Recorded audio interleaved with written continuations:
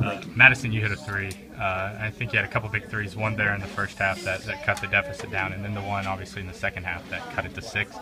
Um, just talk about kind of the course of the game and, and kind of having to play catch up, but but being able to rally and put your, yourself in position.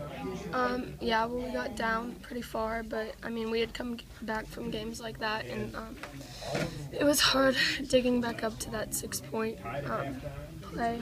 But I mean, we got good passes and ball and got some shots off, and um, I guess.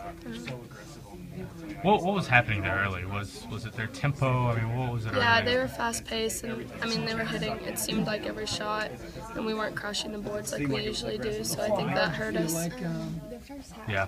Uh, talk about being a senior. Uh, obviously, your last game, but what's this four, four years been like for you? Um, it's been the best four years of my life. Um, came out and I love my team. and just um, we couldn't get back up. I'm just thankful that I got to go as far with these group of girls that it was. Um, yeah.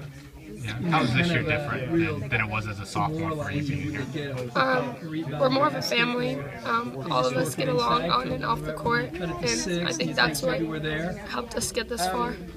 What did Coach tell you guys when you got we're to just the not used to it because we're, we're said, usually the team. He said it's okay. We tried our doing best. that to other people, but we just had he to said, keep fighting. And unfortunately, it wasn't, Sorry, it wasn't enough today.